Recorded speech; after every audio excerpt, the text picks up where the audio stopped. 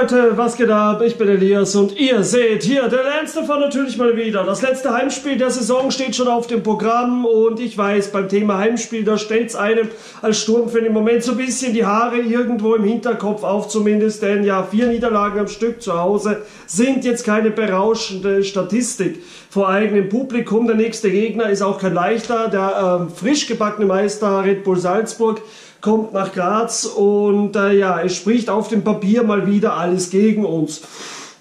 Was sind die Dinge, die Mut machen? Naja, zum einen eben, dass die Salzburger bereits Meister sind. Das heißt natürlich nicht, dass sie äh, deswegen ja weniger Motivation haben, aber es kann durchaus sein, dass der ein oder andere etwas äh, vielleicht unbekanntere Spieler oder Spieler mit etwas weniger Bundesliga-Erfahrung zum Einsatz kommt und die sind sowohl äh, zwar talentiert als auch aber trotzdem fehleranfällig ähm, bei jungen Spielern. Zumindest das Risiko ist gegeben und wir können dies natürlich hoffentlich ausnutzen. Ähm, ansonsten ja, sieht es personell, glaube ich, nicht so schlecht aus bei unseren Backies. Ich hätte jetzt keinen speziellen Ausfall mitbekommen bei der PK, ähm, was ich da so gehört habe. Ähm, ansonsten ist aber natürlich, ja, es etwas bisschen schwer optimistisch anzugehen, das Ganze. Denn Sturm muss gewinnen, will man noch Chancen auf Platz 3 haben. Das wäre, wie gesagt, äh, die direkte Qualifikation für die Europa League Gruppenphase. Aktuell ist der WRC zwei Runden Verschluss, vier Punkte vorne, wobei wir gegen die Wolfsberger noch das direkte Duell auswärts am letzten Spieltag haben. Das bedeutet im Umkehrschluss, wir müssen gewinnen und Wolfsberg auswärts bei der Wiener Austria verlieren, gegen die wir unsererseits jetzt wieder verloren haben. Also, es ist alles so ein bisschen ja eine enge Geschichte und ähm, es kann auch noch enger werden.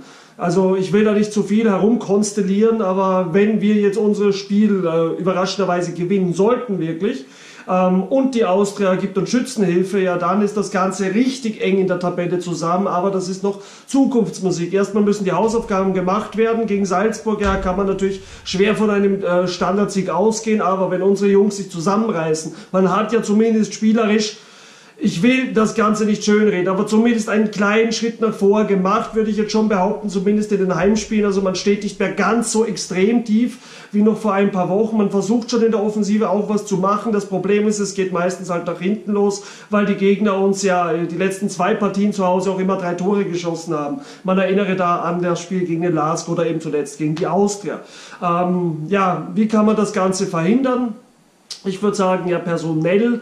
Ähm, wird es, glaube ich, jetzt nicht den großen Unterschied ausmachen, wer auf welcher Position aufläuft. Das Kollektiv muss funktionieren, man muss die Salzburger auf jeden Fall ein bisschen in die Schranken weisen, wenn man sie einfach mal lo drauf losrennen lässt ähm, und ja, wir ihnen die Räume geben oder wir uns wirklich auch nur hinten reindrängen lassen, ja dann wird es nichts werden mit dem Sieg. Also da muss auf jeden Fall von Sturm genug kommen und ja, schauen wir mal, vielleicht macht der Pink ja mal wieder einen vorne. Das ist ja im Moment die einzige Sturmhoffnung, muss man ehrlicherweise sagen, die wir bei unseren Schwarz-Weißen zu, äh, ja, zu beobachten haben.